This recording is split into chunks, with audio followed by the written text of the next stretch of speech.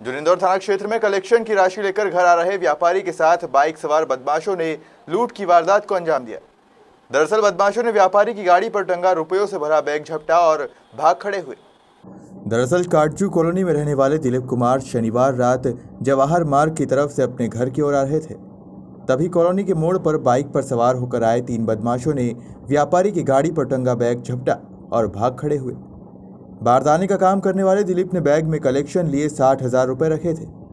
थाना प्रभारी R L Bhadauria के अनुसार घटनास्थल पर लगे सीसीटीवी फुटेज खंगाले गए हैं, जिसमें बदमाश दिखाई दे रहे हैं, जिनकी तलाश में पुलिस जुट गई है। कल शनिवार की रात की घटना है करीब नौ बजे के आसपास। ये फरियादी दिलीप कुमार काटजी कॉलोनी में रहते हैं। ये जवाहर मार्ग तरफ़ से अपने घर के लिए आ रहे थे।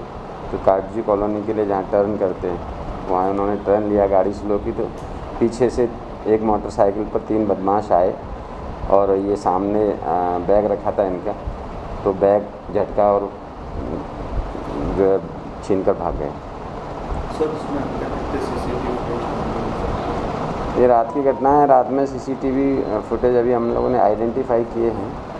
तो उनको आज उनका फुटेज के लिए टीम लगा दी है।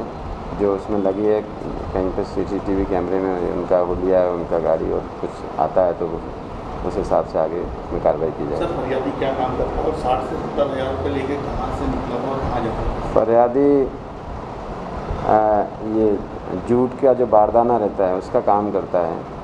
और उसका कहना था कि कुछ पैसे उस पर किसी को देने के लिए रखे थे और कुछ पैसे कलेक्शन करके ला रहा था। उस टाइप से उसके पास पैसे ऐसा बताया ना हो सकता बिल्कुल हो सकता है पीछे कर रहे हैं। इन्हीं का व्यक्ति हाँ। हो सकता